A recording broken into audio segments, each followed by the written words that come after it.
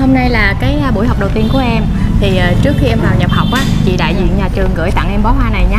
Dạ cảm ơn chị. À, chị cảm ơn em vì em đã lựa chọn trường nghề Minh Đan để làm nơi học nghề.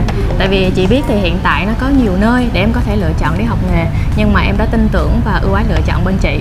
À, và đặc biệt hơn nữa đó là em đăng ký đến hai nghề.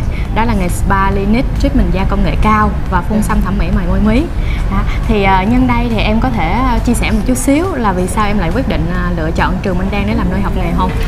Tại vì em có tìm hiểu hơi nhiều trường ở trên mạng trước rồi. Ừ. em lựa chọn ở đây là tại vì em thấy ờ, có nhiều bạn là bình luận ở đây là dạy nghề làm ờ, rất là tốt. Thì ờ, ở đây mọi người hòa đồng vui vẻ. Thì chi phí thì em thấy là ổn định hơn những trường khác nhiều. Khi em chọn đây em thấy phù hợp với khả năng kinh tế của em À, rồi chị cảm ơn những cái lời chia sẻ rất là chân thành của em nha. Dạ. Thì à, chị à, chúc em là sẽ học thật giỏi nghề và sẽ sớm đạt được những cái kế hoạch trong tương lai của mình. dạ em cảm ơn chị